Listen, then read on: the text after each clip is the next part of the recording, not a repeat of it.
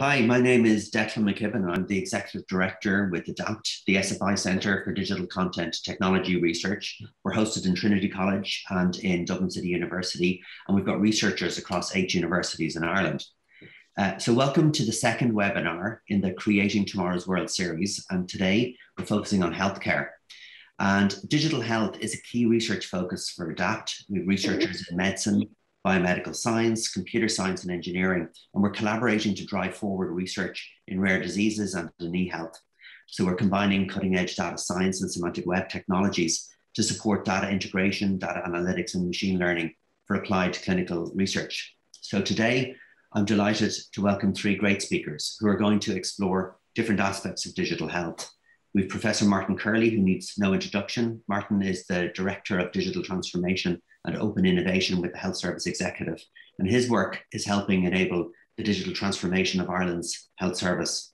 Frank O'Donnell is the Head of Public Sector for Microsoft Ireland, and in this role, Frank is responsible for Microsoft's government, health, and education business across the island of Ireland. And lastly, we have Professor uh, Lucy Hederman. Lucy is a lecturer at Trinity's School of Computer Science and Statistics and a funded investigator with ADAPT. Lucy's research interests include incorporating clinical guideline knowledge into electronic healthcare records and the design of ICT systems to leverage existing organizational data and documents in support of knowledge work. Uh, before we kick off the presentations, uh, just to let you know that we will take questions in the questions and answers facility within Zoom, and we can address these then at the end of the three presentations. So without further ado, I'd like to welcome Martin Curley. So Martin, over to you. Great, thank you very much, uh, Declan. So I'm just going to share my screen and I'll just check with you that you can all see that. Great, uh, can everybody see my screen? Yep. Great. Um, so it's a real pleasure and a privilege to have the opportunity to uh, talk today. I'm very much looking forward to the presentations from Lucy and Frank as well. Um, so uh, I'll talk briefly about healthcare in the digital age, and we're building a collaboration with um, the ADAPT Centre, um, and shortly we'll be launching a, a shared living lab uh, focused on the use of digital in neurological diseases. But to start with, uh, so we're talking about healthcare in the digital age, well, we need to recognize that healthcare is about a decade behind other industries in digitalizing. Uh, but there is a real opportunity to catch up. But we also need to recognize that also significantly behind kind of mainstream OECD countries. You can see us to, to the right there. Uh, but with that context, we're seeing we're at a unique point in time where we have multiple disruptive technologies all showing up at the same time, and they're all information uh, technology related. And healthcare is probably the most information intensive industry there that there is. So there's a real opportunity to contribute. So whether it's cloud or AI and machine learning or big data or Internet of Things or mobile and social and blockchain, uh, robotics, uh, we, we actually have a perfect storm. So what we want to do in the HSE is actually ride that storm and make accelerated progress. So the HSE is the primary organization responsible for healthcare delivery in Ireland and between direct and indirect employees, uh, we have 130,000 employees, so it'll be the largest organization uh, on the uh, on the island of Ireland. Uh, it is a little bit like a super tanker, and what we're trying to do is work very in a very agile way with an organization actually which is designed to actually minimize variation. Uh, the strategy we've adopted, we talk about this, we call it our leapfrog strategy. So right now on the left, we have a primarily paper-based system. It's presence-based. You have to go to hospital. It's acute-based, and it's all paper records. Uh, we hope to avoid actually implementing the typical monolithic electronic health record and go to this new digital health model, one that's actually home and community based, where remote monitoring is predominant. We have proactive and predictive healthcare. It's cloud-based, it's open sourced, um, etc. Um, as many of you be aware, we had a, you know, a significant ransomware attack that is still being worked on. But any of the cloud-based solutions uh, that have been developed in the digital transformation portfolio, none of them were, um, you know, and it certainly um, makes a strong case from a resilience and security standpoint, the adoption of cloud. And so Microsoft Azure and AWS they can afford to spend a lot more on cybersecurity than any one organization on their own. So that's a, a good path for uh, cyber resilience. So on this journey, uh, we assessed ourselves to be at level one on a capability maturity framework. And we're working with a number of different companies to actually build out uh, what this maturity roadmap looks like for Ireland. But our goal by 2025, 2026 is to be um, the European leader in, in digital health. So we're working with, for example, with Huawei uh, and Dell and Roche and Medtronic uh, to actually build out this uh, framework. And this will actually allow us to measure our progress over the next couple of years. Um, we have uh, five levels of, uh, or five levers or vectors in our digital strategy. Um, I don't have time to talk about them, but I'll just mention some highlights. We have an overarching digital transformation strategy that's been agreed for uh, the HSE uh, about three weeks ago. I presented it to the board of the HSE and was, you know, really strongly endorsed. Uh, we have a new master's in digital health transformation actually, and this was uh, co-designed and co-delivered with all eight um, Irish universities, and Lucy was involved in helping us develop uh, the syllabus uh, for that. Out, we've just had the first sort of graduations from that program, and that yielded not only sort of you know 44 uh, now digitally uh, informed, you know, physicians and nurses and doctors and pharmacists, etc. But we have 21 digital change projects delivered. 18 of those are viable and are in the process of being implemented, if not already implemented. We have a portfolio of 50 disruptive digital innovations that we manage. I'll, I'll come back to that. We have a strategy called Stay Left, Shift Left, which we use for uh, orchestrating the innovation ecosystem. And we also have a forum, which we call the Digital Academy Forum for spreading and solutionizing and, and sharing uh, new digital technology, digital health ideas. Um, our overarching strategy is something that we call stay left, shift left. It's very simple. We're looking for digital interventions that help people who are already well stay well in their homes. Or if you happen to have a chronic condition, you can be managed best of all from home. Shift left is about moving patients who end up in an acute setting as quickly as possible to a com community and a home care setting. Now, every time we see a digital uh, health um, innovation, we're looking for four different characteristics. We'd like to see an improvement in the quality of care, the quality of life, an improvement in the clinician experience, and a reduction in the cost of care. And what we're finding because of the power of digital, we're seeing 10x improvements in quality of care or cost reduction and, and so on. Just do a little sl slide build here you'll see actually most of the solutions and companies that we're working with in our digital transformation portfolio are actually concentrated in, in home and community, and we've made very significant progress. I want to highlight one um, is a company called Synchrify in our living lab in uh, Cavan. And there we are, um, we have a vital signs automation project. And one of our priorities for the next year and a half will be to deploy vital signs automation uh, to uh, all of our wards. And actually, there are too many people who develop sepsis in our wards and too many unanticipated cardiac arrests. And this is a problem we can fix through digital technology. Uh, we've built a network of, of living labs all the way from Letterkenny down to Cork. Um, we're doing everything from emergency general surgery, digital solutions to digital respiratory solutions to robotic ultraviolet cleaning. Uh, one of the things that has changed is our agility. In the past, the HSE was impenetrable, and to get a solution deployed, it would take two, three, five years. And we've put in a new innovation funnel and pipeline to actually help us manage that. And we go through four phases an exploration gate, a proof of concept gate, a demonstrator, and then broad adoption. This is what our funnel looked like before uh, COVID 19, and this is what it looked like directly after COVID-19. And um, we, we now have an innovation pipeline that's, that's, that's really full and is really adding uh, tremendous uh, benefit. Uh, just, just to give a couple of ideas, in the, in the week that COVID showed up on our shores, we worked with a small Irish company called PatientMpower, and we were able to, you know, in a day or two, build a prototype, which I demonstrated at the IIEA Uh, within five weeks, we had this solution being prescribed across the country.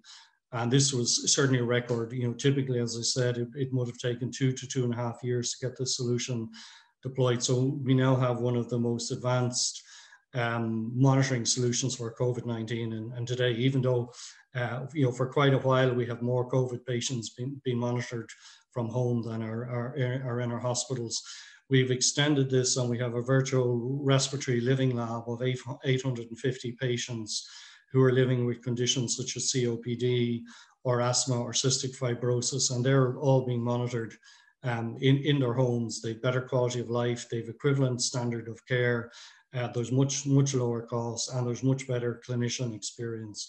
Another solution that we've deployed um, very similarly in the early days of COVID with Professor Richard Costello of RCSI.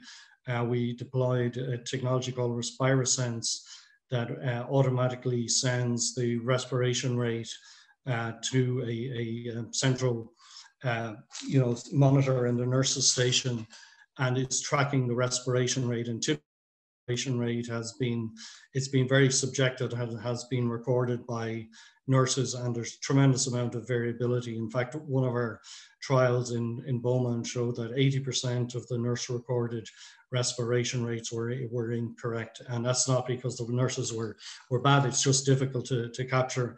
So this is a, a unique technology and we're now in the process of deploying this to many of the, the acute hospitals in the, in the country and we should be wrapped up with that next month. But importantly for COVID patients, we get about 12 hours advance notice of a hypoxic event when a patient is going to significantly deteriorate. And again, this is a solution where we've moved from a three-year implementation plan to um, you know less than less than three months. Uh, another significant um, innovation um, is with a Trinity-based startup called Akara and um, Professor Conor McGinn. And this isn't um, an image from a, uh, an advanced American hospital. This is from the Midlands Regional Hospital in Tullamore. And there we've been deploying um, a, a, UV uh, autonomous uh, robot uh, to decontaminate radiology rooms. This solution is five or 10 times faster than human cleaning teams. It's three times more effective and it's 2.5 times uh, cheaper. And just to kind of demonstrate the agility, I'm just on my right hand, this is um, what Conor originally brought to me. He, he met with me last year in March with just a drawing and I said to Conor, well, can you come back with a prototype? And in two days, he actually came back with a device that I'm showing you there on the right. And now that has been evolved or evolved to a production ready solution and uh, that's used used um, you know on a daily basis in Tullamore. And we're now looking to explore how we can um, expand this uh, nationally and, and, and indeed beyond. Uh, so we have a portfolio of disruptive technologies. We're working with ADAPT, uh, on several of these. The Avatar uh, Louise, uh, we've been trialing this for tracking and tracing. We've been also working to explore how we could um, use Tara, the, the COVID contact uh, tracing uh, agent. And there are lots of other areas that we're working from mobile X-ray to PillCam technology uh, to artificial intelligence to AI assisted echo tests and, and so on. Um, but just to finish, because we also wanted to talk about data, uh, patient health literacy is very important. And Ireland, you know, similar to our adoption of electronic health records, we're very much a laggard. So we're down there with Italy and Latvia in terms of the percentage of Irish patients who are acting or who are, um, you know, seeking uh, health information uh, online. And we know that patients with low health literacy they're more likely to visit an emergency room, they've more hospital stays, are less likely to follow treatment uh, plans, etc.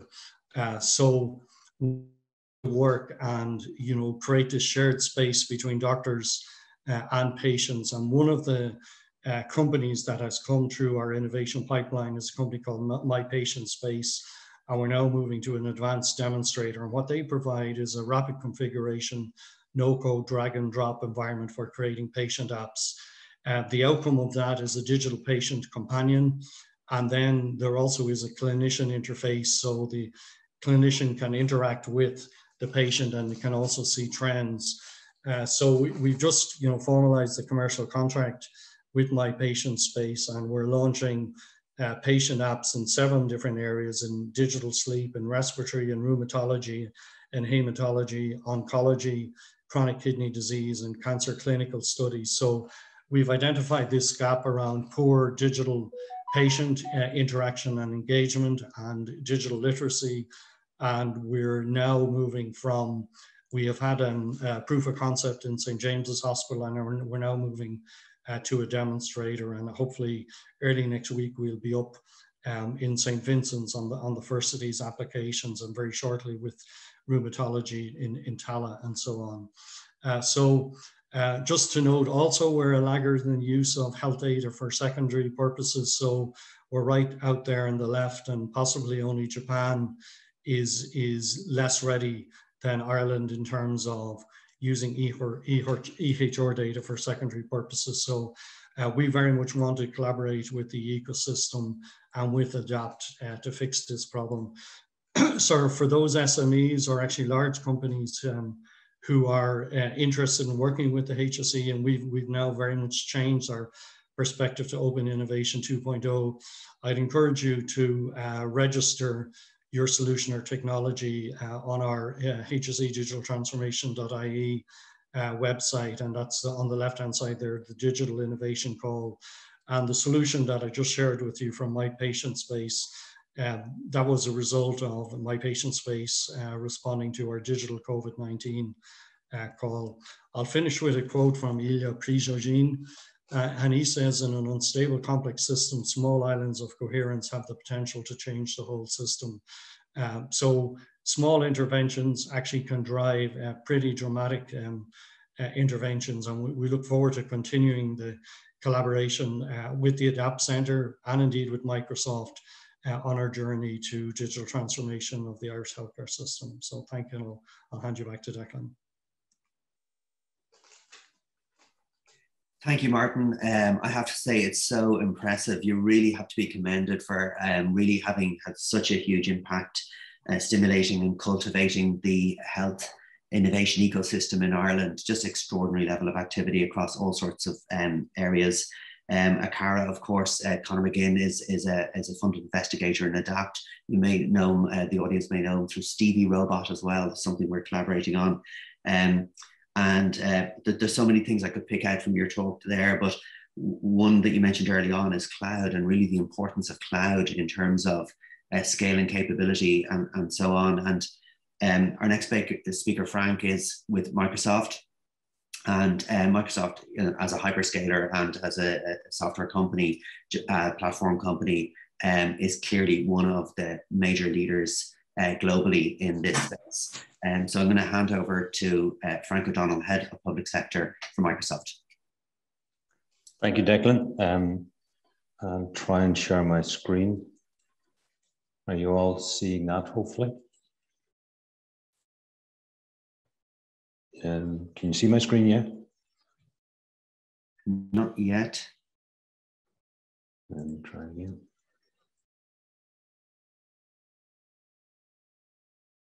Yep.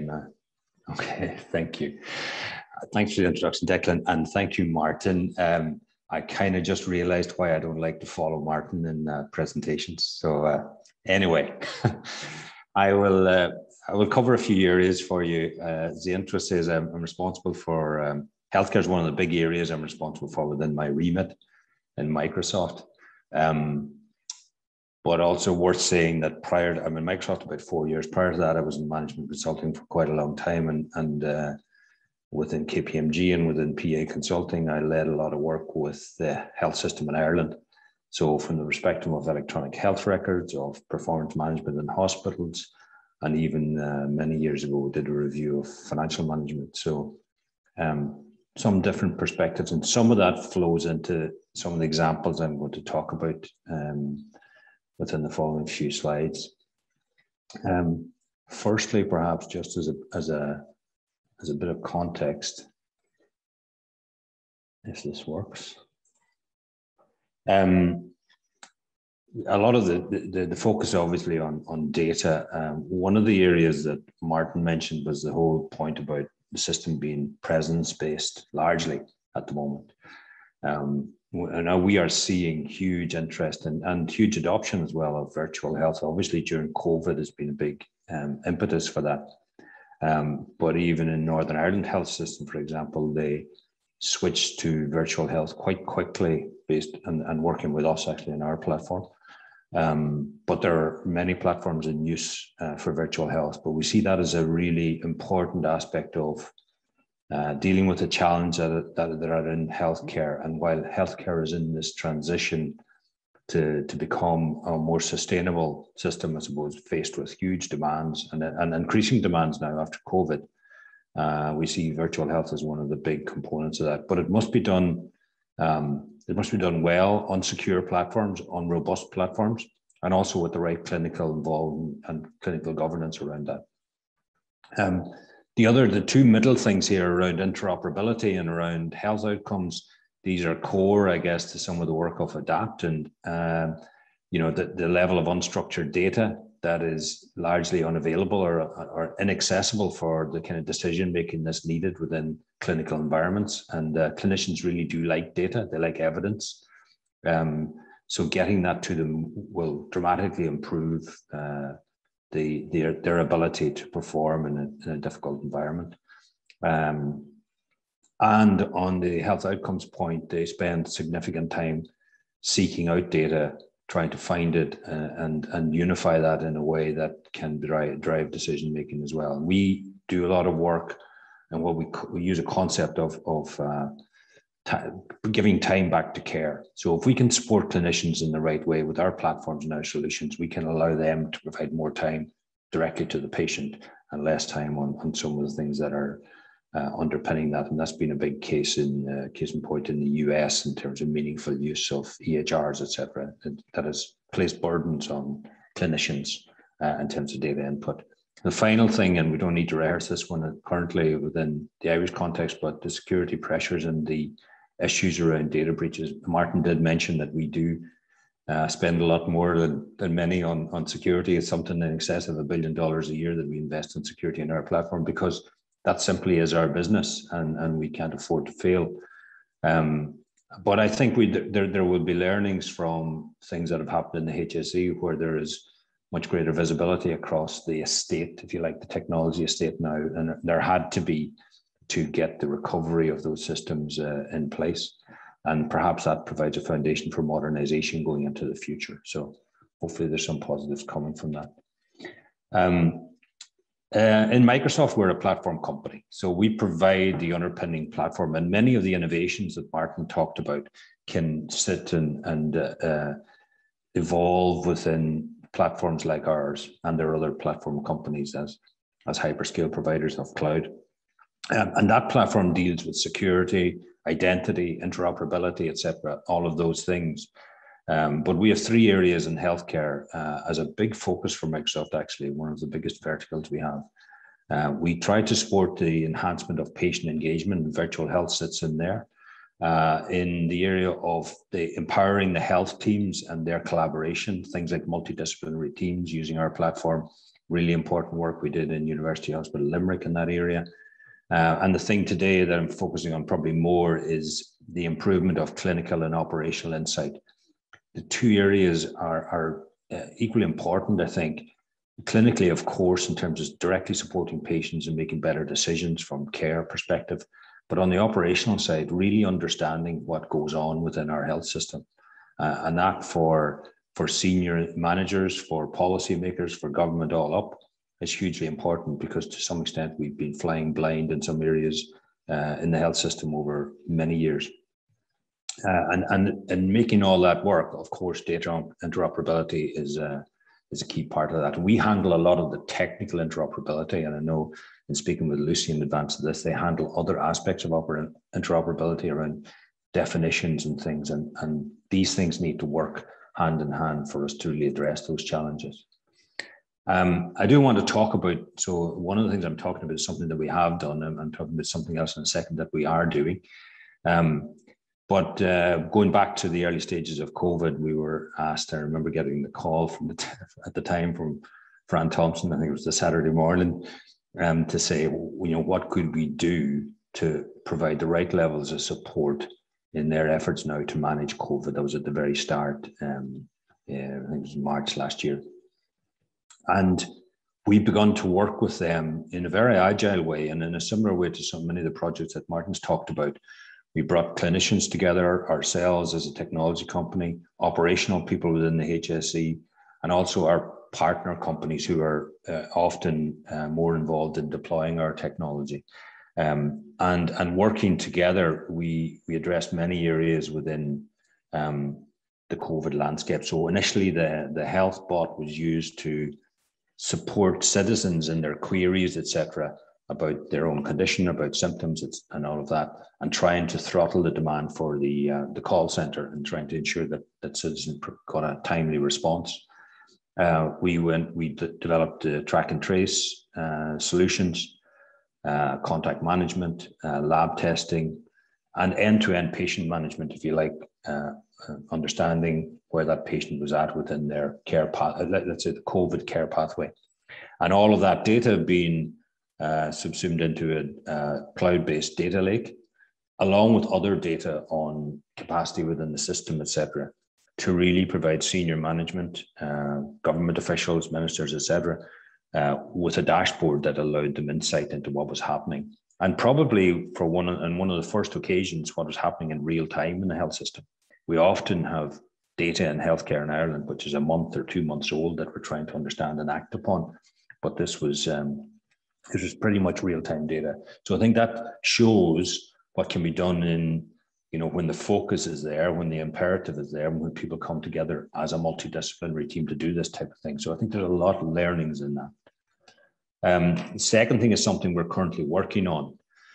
Um, and again, it's in the area of, of performance, I guess, across uh, the acute sector in particular. But if you look at what's happening within uh, a particular hospital and the end-to-end patient flow, the visibility of that end-to-end patient flow is, is limited. There are different fragments of information and data that are available, maybe what's happening in ED, what might be happening in theaters, what might be happening in discharge, but they're not rarely joined together and they're rarely visualized in a way that allows you to manage that end-to-end flow. And that's important for the clinical teams. It's important at the next level of hospital management or hospital group management. And it's also important at government level to understand capacity in the system. And we have done a proof of concept in this, and we're a little bit uh, slowed down at the moment because of the cyber issue. But this is a, a partnership with a company called Healthcare Logic, an Australian company that we're working with. And um, this this will uh, is currently in deployment um, in, at full scale, and I think we can see from this that this will deliver productivity gains. It will allow uh, the, the existing uh, capacity to deliver more. And often we talk about extra beds, new hospitals, etc. Uh, when we see the the wave of demand that's coming.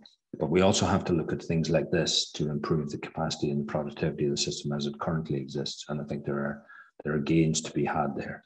So so that would be an exciting project going forward. the last thing, sorry, um, just I want to touch on something that we did uh, a number of years ago with uh, University Radboud uh, Medical Center in in the Netherlands, uh, where and, and this is not uh, unusual to them. This is quite normal across research environments. The requirements that were behind this. Uh, so you take uh, research centers want to collaborate with health organizations, maybe want to collaborate with pharma or or other private sector organizations and academia, etc. Um, that collaboration needs to be done on a secure platform. You need to be really careful about who you allow access to data. You need to control the data and ensure it doesn't leave the control of the host organization. So there are many different requirements, and yet you want the flexibility and the ability to collaborate and the ability to do so across multiple jurisdictions. So we we developed on our platform, on our Azure platform, we developed a what we call a digital research environment. Um, where we could manage that data, we could ensure its security, be compliant with local restrictions and regulations, whether that be GDPR or other regulations, and allow access in a global uh, sense to, to different organizations, all controlled by the, the host. Uh, that was quite successful, and Radboud have actually taken this and further developed it and now provide that um, to other research organizations globally. Um, but also, we've taken it and we've open sourced this. So, this is available as an open source solution from Microsoft sitting on the Azure platform uh, for research institutions to use. And we're, we're continually evolving this in partnership with research institutions across the globe. And I thought I'd just mention it today. I think it's something I'm happy to I don't know the, all the details behind it, right? So I, I'm, but I'm happy to connect directly into the team. I was speaking to one of the team yesterday um, that are currently involved in this, and, and I can make those connections uh, going forward. So that's really a, a very short canter through uh, some of the Microsoft's perspectives on this. Hopefully, it's given you an idea of the importance of data, how we're actually doing some really good things in an Irish context, but also some of the, the broader possibilities as we go forward. So I'll hand that back to Declan, I think, now, and uh, look forward to the conversation later. Great. Uh, thank you, Frank. Uh, that was super interesting. One, one of the takeaways for me is, is your mission to give time back to care, back to clinicians. And uh, I hadn't realized that 70% of time was spent on data ingest and data wrangling. So there's clearly operations for uh, data integration and interoperability automation while of course being attentive to uh, data privacy and governance um, and consent uh, issues. And that's one of the uh, key research focuses for our next speaker, Professor Lucy Hederman in Trinity College Dublin. And um, it's an area of active research that I'm aware of. So uh, handing over then to Lucy. Okay, good morning. Um, and thank you, Frank and, and Martin, both very, very interesting presentations. And I'm going to follow on quite a lot from the last part of, of Frank's uh, uh, talk. So I'm Lucy Hederman. Uh, I'm a collaborator in ADAPT. Uh, I'm a lecturer in computer science at Trinity College. Uh, and I've been lecturing and researching in health informatics for most of my career. I've mostly been interested in clinical decision support. Uh, and I currently lead the heterogeneity and interoperability uh, challenge within the transparent digital governance strand of ADAPT2. That's a whole lot of big words, but basically ADAPT has, has ADAPT2 has three broad strands. One of them is called transparent digital governance.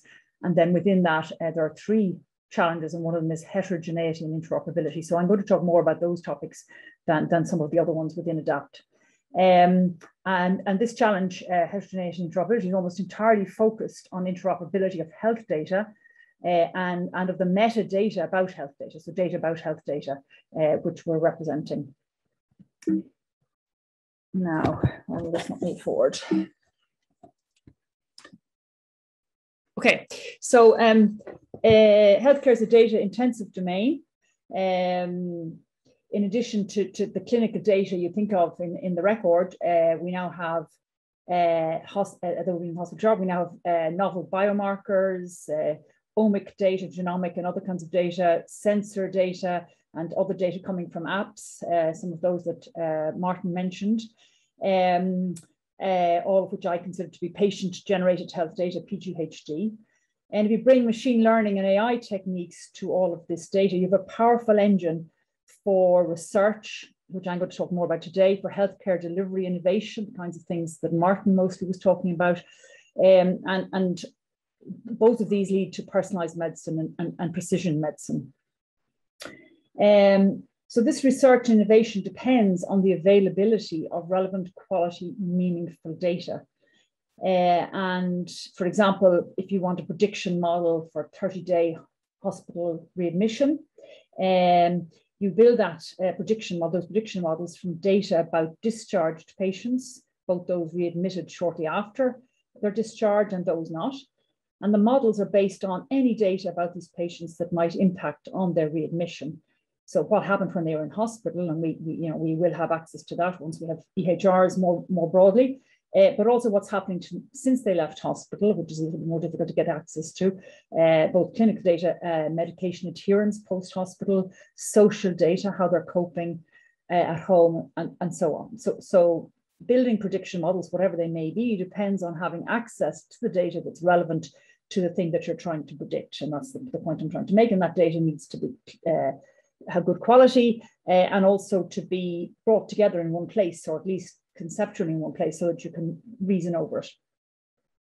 Um, so I'm going to talk a bit more today about uh, interesting clinical research projects we're working on uh, and the challenges ADAPT is addressing within them. So here is a uh, visual of a patient, just focusing on the middle bit for a moment, patient wandering along through their life. This is a vasculitis patient. Vasculitis is a rare disease uh, which affects the small blood vessels and, and impacts on people's lungs typically and kidneys, particularly kidneys, which is uh, why my, uh, my colleague Professor Little, Mark Little, is interested in this in this area. And they were talking about patients who've already been diagnosed with vasculitis, uh, who are trundling along and possibly coming towards a flare event, a relapse event, also known as a flare event. And um, what we're doing uh, in in this AVERT research project is we're uh, gathering information about these patients. Well, we have information in, in the biobank or the, the registry in the biobank represented up there, top leftish. And then we're giving these patients an app. It's a PatientMpower app as it happens, um, where they uh, give us information about how they're feeling, how active they are, other things which might help us to understand how they are. But also key is that they're giving us their location data, where they are uh, at various times of the day. And with this location data, uh, sorry, I meant to say in this project, we're interested in the uh, environmental triggers of, vas of vasculitis flare. In other words, what makes them get worse again once they've been under control, their disease under control. Uh, and we believe that weather pollution and uh, infectious diseases may have a, a, an impact on, on the re relapse of their flare. So using the location that we get from the uh, app, we are then able to access the weather, the pollution, and the infectious diseases using uh, CIDR data uh, that this patient is, is exposed to. And we are then going to uh, pull all that together, data together into a, into a, a database which ADAPT manages.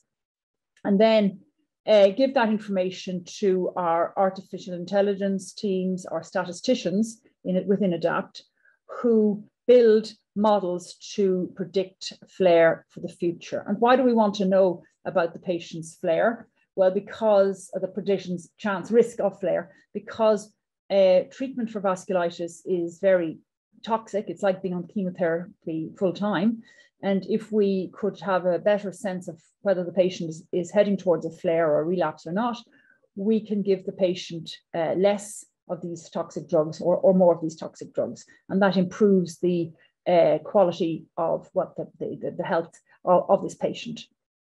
So um, that's an example of the uh, kinds of projects we're involved in. And we are, uh, I'm going to use, uh, go on from this example to some other examples of doing something similar.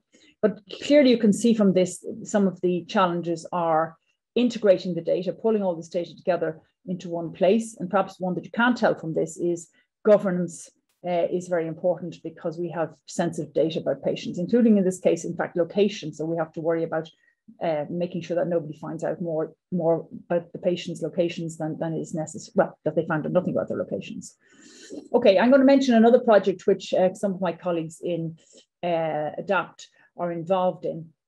Um, so this is an uh, Precise 4Q is an EU project, as its name suggests. It takes a precision medicine approach, in this case for stroke, uh, and it aims to bring predictive modeling to prevention, treatment, and rehabilitation of stroke.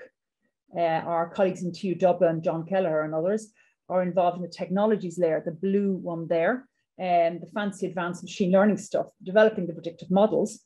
But they admit that all the grunt work, all the effort in this project is on the data integration the integration of multidisciplinary data from multiple clinics across multiple jurisdictions.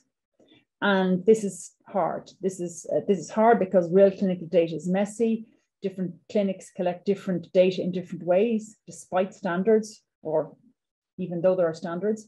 And this is more so true across national boundaries. The data is multimodal. There are images, video, genomic data, and other omic data.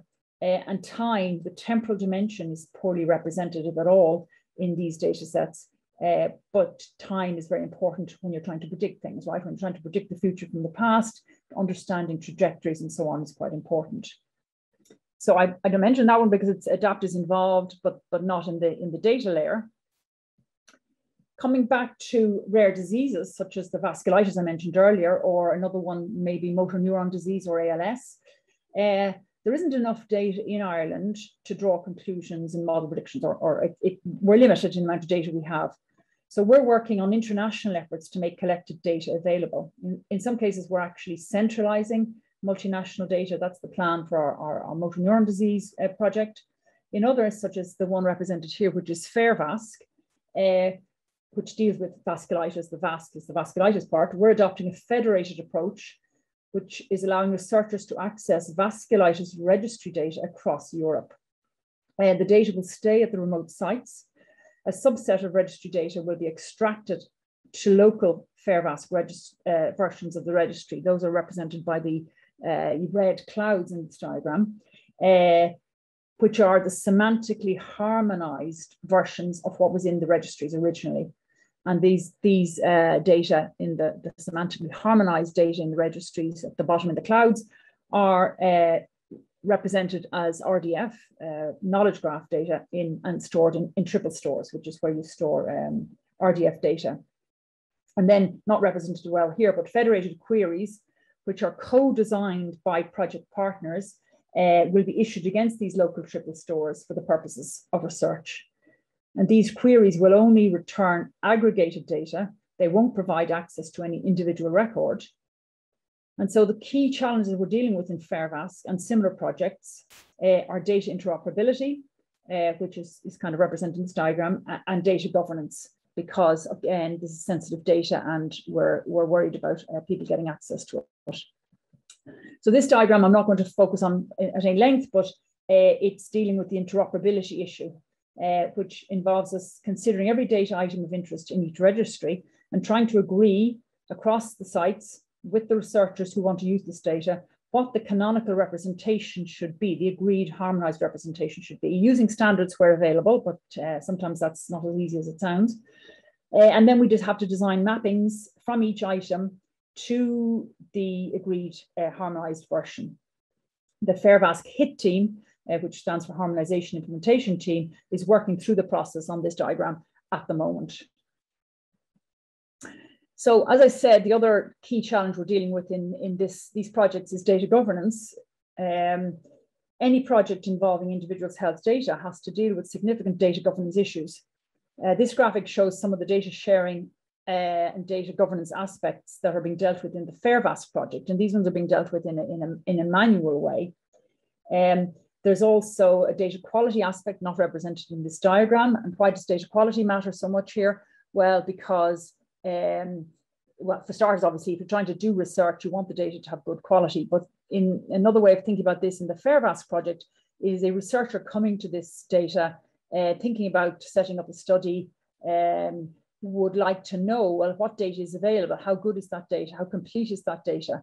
Uh, what um, what everything that, that has to do with quality might impact on the research that's, that's to be carried out and whether that research is going to be carried out. In other projects like this one, we're representing data provenance. Data provenance is where each data item comes from or how it was computed. How did we get this value for this situation? Uh, what computation, what series of steps did we go through? And provenance is essential for reliable or more importantly for reproducible research. So representing provenance is an important part of the uh, development of this, this line of research.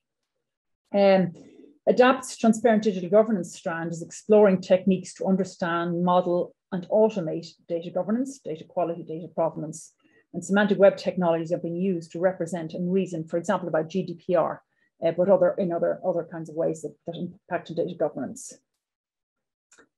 Okay, so there are other um, health topics in the ADAPT heterogeneity and interoperability space. On the left, I'm representing patient-generated health data. My colleagues Damon Berry and Dymphna O'Sullivan in TU Dublin and I are looking at patient-generated health data. That's stuff coming from apps, coming from sensors, coming from patients in various different ways, uh, and looking at how to uh, integrate that data into the clinical decision making and into the electronic healthcare record. Right, we've had a lot of work on understanding how to represent clinical data electronically and getting that into the EHR, but data coming from patients is, in diff is different in many ways, and we have to think about how to represent it and how to uh, get it into the EHR and how to, to, deal with the governance issues and the, you know, what goes in and what doesn't go in and where did it come from and how does a clinician understand which of this data is worth uh, uh, paying attention to and which can, can be, uh, should be uh, given a little bit less uh, attention maybe because of its quality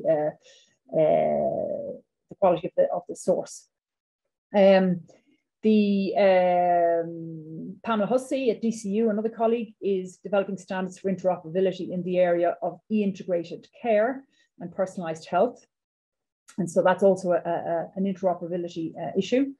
Um, on the right, uh, more broadly in the transparent digital governance space in ADAPT 2, uh, Gaye Stephens and Mark Little lead public engagement on health data governance and sharing. An upcoming Citizens Think-In will address what is health information. That sounds like an easy question in some ways, but it's interesting how you decide the bounds of what counts as health information. Is my view about what I should want to share part of my health information? Is my own opinion about my health part of my health information? These are questions that are being asked. And you have to answer those questions before you can decide how to govern that data. Okay, and research by Owen Conlan on the autonomy and responsibility of digital agents uh, may we haven't done this yet, but maybe applied to agents that manage the sharing of my health data. So if we explore what is my health data and how do I want to share it, then we may think in the future of a, of a digital health sharing agent who takes responsibility or some of the responsibility of deciding when to share what with whom. More broadly, and not representing the slide, multiple ADAPT statistician and ML researchers are addressing health research challenges just to give one example, looking at the semi-automated cohortization, in other words, identification of cohorts of patients uh, to identify those with minimum variance for certain criteria. And studying these cohorts would allow us to get insights on how to provide more precise treatments for particular cohorts. In fact, in the Irish Times yesterday in the health supplement, uh, this was discussed in relation to motor neuron disease. Um, uh, which is the, uh, or, Hardiman is, is who we're working on, with on that topic. Okay, and that's me uh, done. Thank you for listening to the Swiss Stop tour of some digital health research in ADAPT 2. It is only a subset. Lucy, thanks a million. That was really interesting. Um, I guess the, the, the key takeaways there is just how pervasive, how essential, how utterly core is data uh, to, to all of this, to healthcare innovation and uh, the, the uh, compelling benefits of artificial intelligence in terms of uh, automation and in optimization, in personalized and precision medicine and prediction modeling and so on and so forth. So I'd like to thank all the, the three speakers for your um, contributions today. I thought it was a really interesting discussion. We could have gone on for another hour. Um, but there are some questions that I would like to turn to if that's okay. So I'll just go ahead and call these out from the chat. So um, first up, we have um, our former colleague actually and uh, emeritus professor Jane Grimson has a question. I'll call it out. It's great to see the fantastic progress that has been made in the past year thanks to the pandemic. So the silver lining uh, uh, point.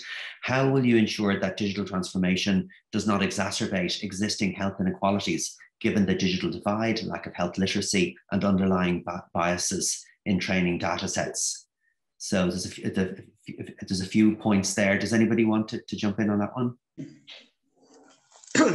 well, I think digital is democratizing uh, healthcare. So yeah, the, clearly there are some challenges, uh, particularly around digital literacy and digital or inequalities. But I, I think um, overall, as a, society we be, become more digitally literate you know definitely we're, we're going to trend towards actually more um, you fairer care there certainly is a, an issue in the short term uh, around older um, persons in our society that aren't you know as specifically um, digitally literate and i think we need some sort of tactical uh, interventions to to address those but overall i think digital will de- democratize healthcare and will really allow um, significant improvements in, in both personal and system efficiency, effectiveness, and experience from, from healthcare. Mm-hmm. I just uh, happy to add into that. I think Martin's point is a really good one that uh, it, it, can actually help improve the quality of healthcare provision. I can tell you that in one instance where we were providing virtual care to those needing physio, those with cystic fibrosis, rather than travel for an hour into um, uh, the hospital, they could do this from their home, and you know that that saved travel time and cost. But also, some of them were so exhausted by the time they get there due to their condition that they wouldn't even be able to take part in the um, in the physio itself. So, I do think though there's a journey here, so it's not a question of switching completely to digital, and there will have to be that transition where we do deal with, uh, you know, we've got to support people in all ways and those that don't have the same access. But government's investing a lot in broadband and in other areas that uh, hopefully will ensure that people have an, equitable access to this. Great. Okay. Thank you for that. Um, the, there's a question here from Mark Little. Uh, the Innovation 2.0 approach is exciting, although it does create an image of an ultra heterogeneous health ecosystem with many private enterprises interacting with Sláintecare. How will the HSE keep all of this integrated? That's for Martin, I would have thought. Yeah, um, no, it's a very good question. Well, we're certainly finding, you know, up until this, the HSE was impenetrable. And I really felt sorry for any SME that, that was trying to interact uh, with us. The system was designed almost explicitly to keep out variation.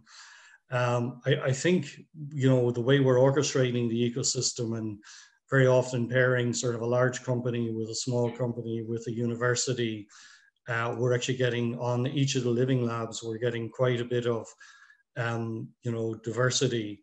Um, the, both the UK and Ireland are very much designed as um, heterogeneous systems with the NHS and the HSB, HSE being the dominant, uh, you know, service providers. So that heterogeneity, I think, comes by explicit uh, design.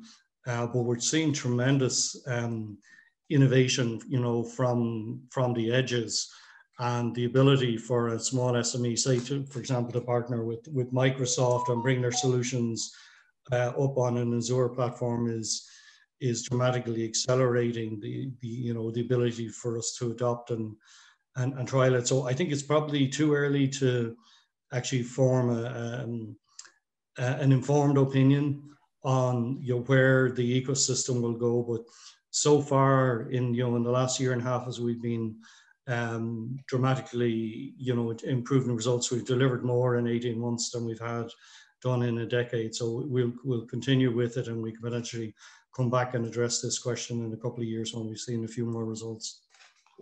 Thanks, Mark. Again, again uh, just I know it was directed to Martin, but as you mentioned, Microsoft did. Um, the, the example I showed uh, with Healthcare Logic around the patient flow, etc. That's an example of a very innovative specialist organization working in that particular area, but basing then their technology on our platform so that in a technical sense, Microsoft can help by providing that underpinning platform. The scale, the agility, the security, all of those things are handled. Uh, and, and these are examples that, and we're working with more and more small companies and uh, keen to do so as we go forward because the small companies bring real, real innovation really quickly. Mm-hmm. Uh, thanks, Frank. So, just in the interest of time, I'll take uh, one more question and apologies to those questions that we didn't get to. But this one is from Leona Ryan. I'm a researcher looking at the use of digitally enhanced tech to train healthcare professionals in practice. Do you think there's an appetite for virtual training tools that can be accessed at a time convenient to the user?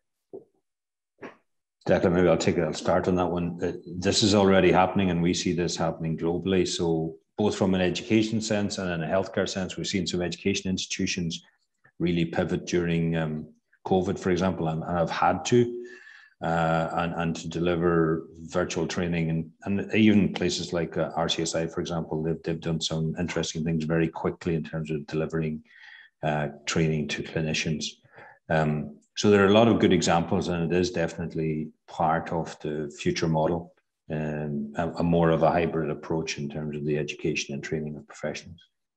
I, also just add to that, I think there's a, a magnificent opportunity, but I, I, remember 15 years ago, UC Davis in California actually performing a virtual stent insertion uh, procedure. So this technology is, you know, a couple of decades old, uh, but there, I think there's a, you know, a really um, almost unparalleled opportunity to to adopt these kind of technologies. We've just started to work with Medtronic around digital surgery, and their solutions allow actually operations to be recorded in real time uh, within the within the body, and is going to be a tremendous sort of addition through the you know the training of our future doctors and nurses. So yeah, I, I think the answer is a very resounding yes to this. Mm -hmm. Okay, great. Thank you for that. So um, just in terms of wrapping up then, I wanted to, uh, to thank our three speakers, Lucy, Frank and Martin, uh, for taking the time this morning for what was a really interesting discussion. Um, I'm, I'm, tempted to say we should do this again sometime. Um, but the next one that's coming up from an ADAPT perspective is going to be on the 27th of July, and we're focusing on uh, spinouts and the innovation ecosystem. So, as well as uh, conducting collaborative and, uh, research and targeted projects with industry, ADAPT also has a very busy um, uh, spinout incubator. So, we have 16 teams currently incubating in there. So, next uh, late, later in, in uh, next month, we'll be talking about that. So uh, I want to just say thanks for everybody who organised today, for the speakers who contributed, and uh, most of all, the audience who took the time to join in uh, to this morning's webinar. Thank you very much.